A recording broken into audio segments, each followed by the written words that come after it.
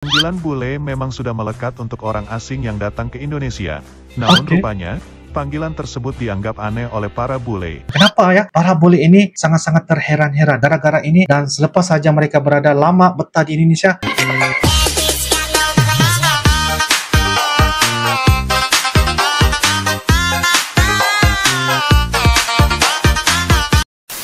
Halo guys, Assalamualaikum warahmatullahi wabarakatuh dan salam sejahtera guys. Welcome back to my YouTube channel guys.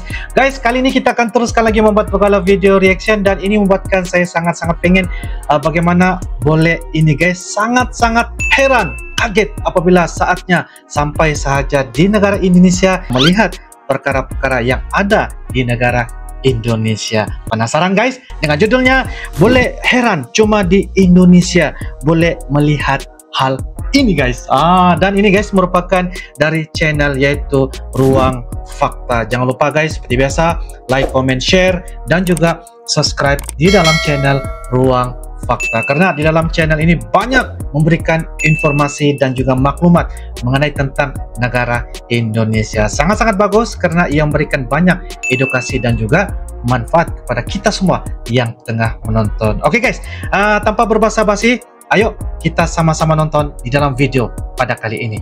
Yo guys. Oke guys, dengan hitungan satu, dua, dan tiga, guys.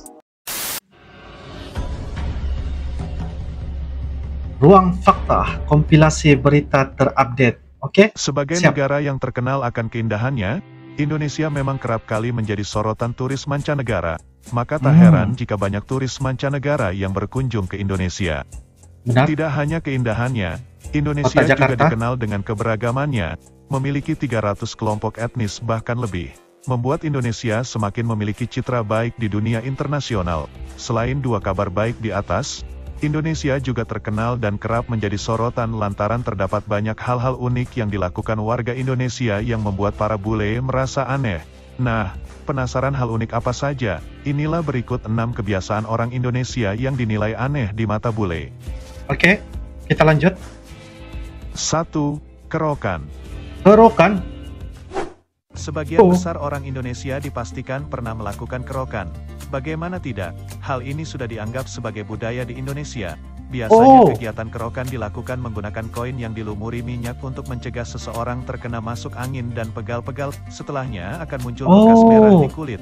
Mendengar masuk angin saja sudah membuat kebanyakan bule keheranan. Tak sedikit bule merasa aneh ketika melihat bekas kerokan yang berada pada kulit orang Indonesia. Oke. Guys, saya pun baru pertama kali ya melihat ataupun mendengar kerokan menggunakan koin dan meletakkan di atas kulit kita ya guys. Jadi dia akan gosok-gosok-gosok sampai jadi merah ya. Ah, jadi itu akan membuatkan banyak angin akan keluar ya dari badan kita. Wow.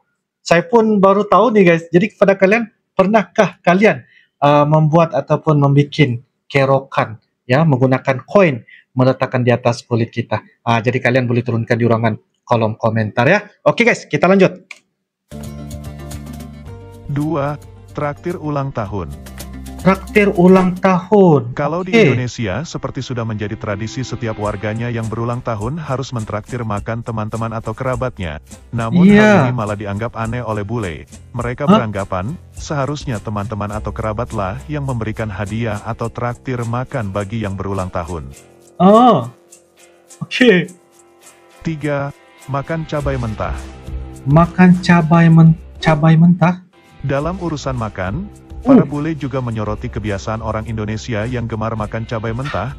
Hai bagaimana kamu bisa beranggapan ini aneh? Bagi kita orang Indonesia tak lengkap rasanya bila mau makan gorengan jika tidak dibarengi dengan cabai. Memang kebanyakan bule tidak memiliki Uh. kemampuan untuk menahan rasa pedas, sehingga mereka menganggap hal ini aneh. Aneh ya. Makan cabai guys, mentah lagi tuh. Oish. 4. Jongkok Empat. Jongkok. Yang menjadi sorotan di sini adalah gerombolan anak-anak muda nongkrong di pinggir jalan. Mereka asyik bercengkrama sambil menghisap tembakau. Terkadang Iya, mereka iya. berkumpul dalam posisi jongkok tersebut dalam waktu yang tidak sebentar. Bagi sebagian Iya, iya. bule, hal ini sangat mengherankan. Pasalnya kebanyakan bule kesulitan melakukan posisi jongkok sehingga mereka heran melihat orang Indonesia dapat dengan nyaman melakukannya bahkan dalam Eh. waktu yang lama. nggak bisa Kelima, mereka buat ya. Mandi dua kali sehari.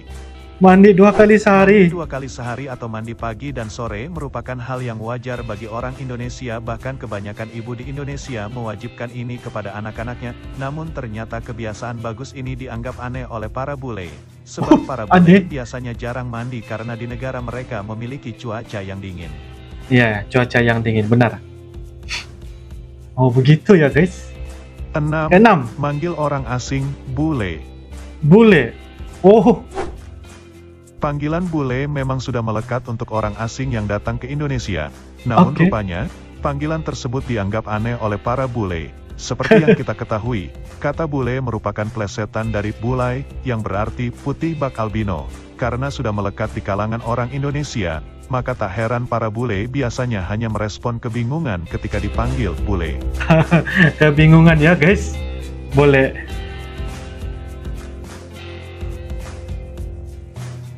Sampai mereka terheran-heran. Aneh ya, guys.